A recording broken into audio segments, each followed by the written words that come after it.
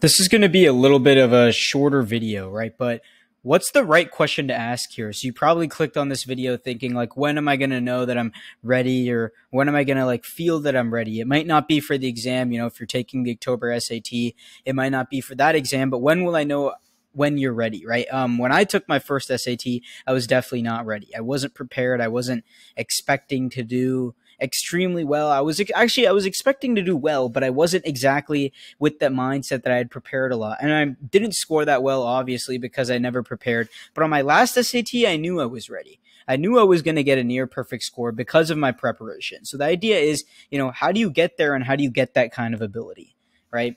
This is just being ready for the SAT and hi, I'm Karthik.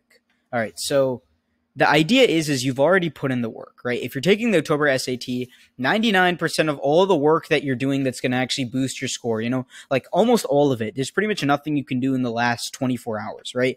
But the work that's ultimately get, that you've done that's going to help you improve your score is finished. There's nothing more you can do, so there's no point worrying about that. You might be able to learn some concepts that you don't know in a couple of hours on Khan Academy if there are some grammar or math concepts that you don't know, and that might actually boost your score, but I wouldn't recommend actually cramming that in the last minute because it's not going to help you, right? You need to prioritize your sleep and figure out how you feel about the SAT is basically going to ter- determine if you're ready right? If you feel very anxious, like you haven't prepared enough, then that's probably a sign that you need to prepare more for the November SAT. And I'll talk more about that and how seniors can actually use that in their early action and early decision applications, right? But it's normal to feel a little bit anxious, but you should be able to override that with the fact that you've been spending so much time preparing for it, right? That's the real ability to not be anxious and not be nervous or scared for the SAT is because you've prepared so much for it and you've prepared so diligently, right?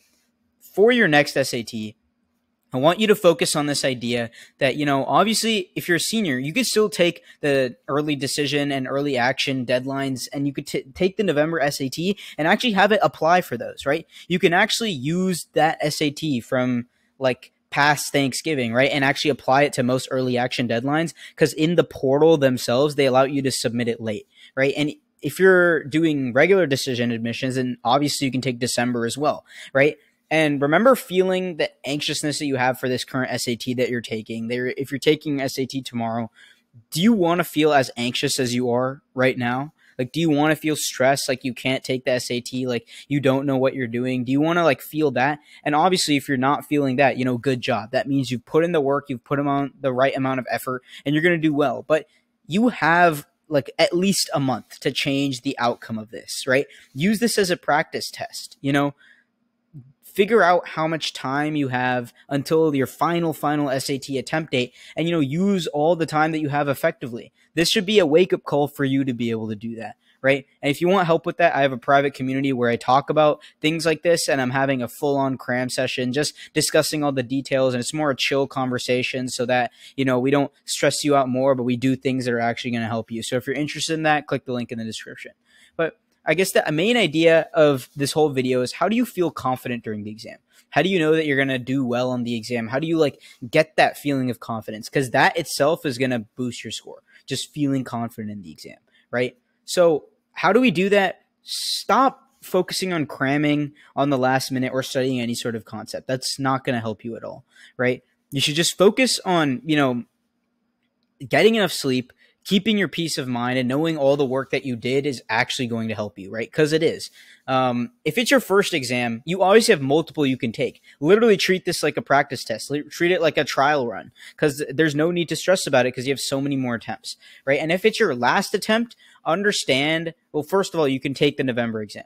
Do that. It's even if you're a senior, right? But understand how familiar you are with the exam and how much like you are more prepared than almost anybody else taking it. That's a huge advantage in comparison to the multiple people that are taking it for their first time, right? Get everything that you have ready.